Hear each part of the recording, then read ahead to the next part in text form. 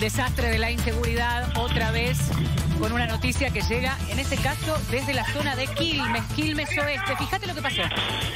¡No! ¡No! ¡No! ¡No te voy a dejar el celular, la concha de tu hermana! ¡Voy a matar! ¡Hijo de puta! ¡Solo de mierda, la concha de tu hermana!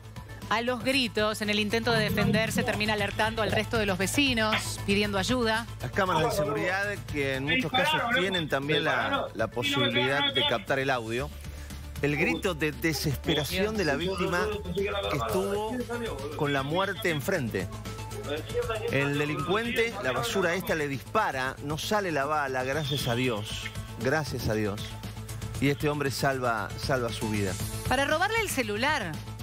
Estamos Dios. hablando de un intento, de un robo a un, de un celular.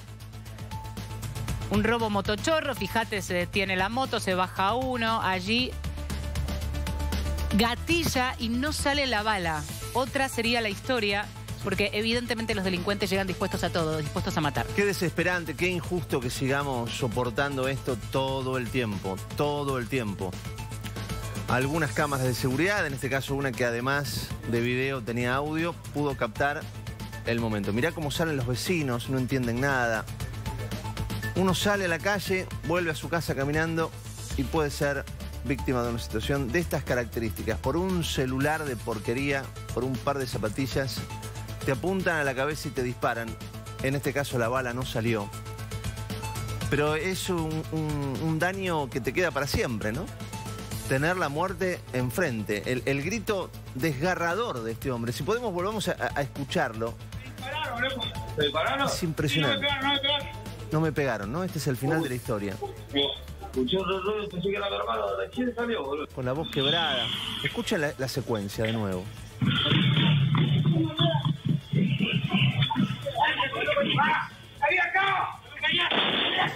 ¡No! ¡No! ¡No! Dios. ¡No te voy a celular, la concha de tu hermana! ¡Voy a matar! ¡Hijo de puta! ¡Solo de mierda, la concha de tu hermana!